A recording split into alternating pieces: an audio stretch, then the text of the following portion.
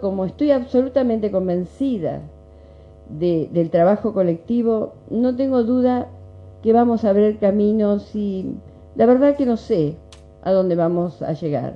Siempre sé que va a ser para mejor, pero el objetivo es mejorar la calidad de vida.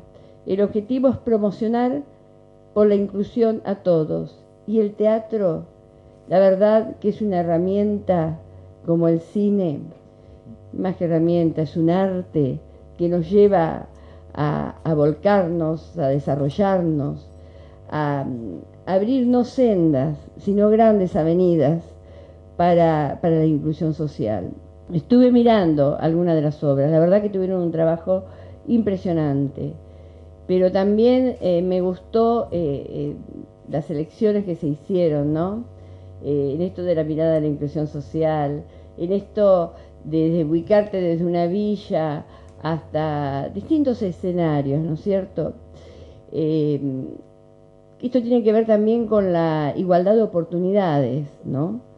Cómo podés crecer en un ambiente o en otro, cómo podés promoverte en un ambiente o en otro. Yo estoy convencida que la verdadera eh, política universal que tiene que dar el Estado es igualdad de oportunidades para todos y todas. Este puntapié inicial que se da hoy a un proyecto, a este proyecto, es realmente fundacional. ¿Por qué? Porque por primera vez hay un, proyecto de verdadera acción de llevar teatro a los sectores más carenciados. Teatro, un buen teatro, teatro profesional, teatro hecho, escrito por autores, profesionales después de un concurso, teatro que va a ser interpretado por actores profesionales con el apoyo y la, digamos la producción necesaria e imprescindible del gobierno, en este caso del ministerio que preside la doctora Alicia Kirchner. Estamos felices eh, de participar en este proyecto, porque creemos en él y creemos que se hacen las cosas así.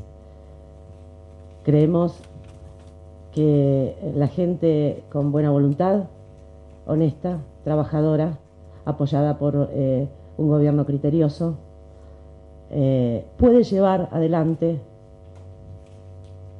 mejoras para todos. Yo recuerdo el primer encuentro que tuvimos en Sagay con la gente del Ministerio de Desarrollo Social y lo primero que notamos fue que no había que hacer ningún esfuerzo. Eh, el diálogo fluía, nos entendíamos y podíamos construir conjuntamente. Y había algo del sueño de esta sociedad tan nueva que es Agay que también se podía concretar. Y dijimos, bueno, vamos a ir para adelante.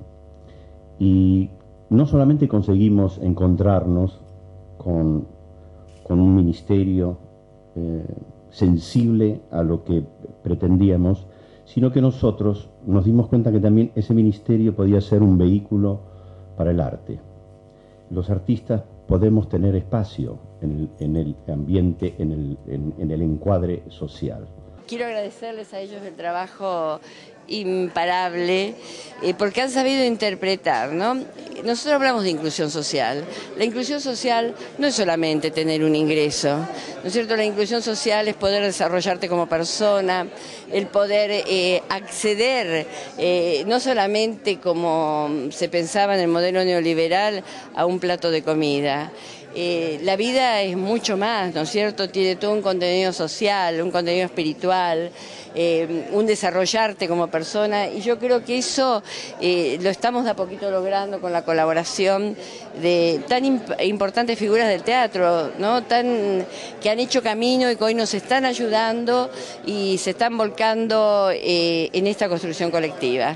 Esta posibilidad que se abrió con el Ministerio y que con la colaboración de nuestros siempre cómplices que son los actores, poder hacer un teatro para la gente y para el pueblo, pero no solo un teatro, digamos, como una donación, sino un teatro profesional de muy buen nivel. Los textos están elegidos, se presentaron 109 este, proyectos, textos, fueron eh, elegidos 8, ahora les toca a los actores, a los directores ponerlo en marcha. Por primera vez que nosotros estamos convocados, hay un sindicato de por medio, dos sociedades de gestión, eh, hay, evidentemente una intención, hay unas ganas de poder llegar de una manera distinta. Y por eso es que estamos este, felices por lo que se consiguió y también muy esperanzados por lo que vamos a conseguir, ¿no? Porque ahora va a venir la dinámica de, bueno, los directores elegir los actores y ponernos con el ministerio a decidir por dónde vamos a ir, qué caminos, dónde vamos a llegar y después sacar las conclusiones de, esto, porque tiene que haber un, un, ida y vuelta y tenemos que escuchar de la gente que nos ve qué es lo que les pasa a ellos también, ¿no?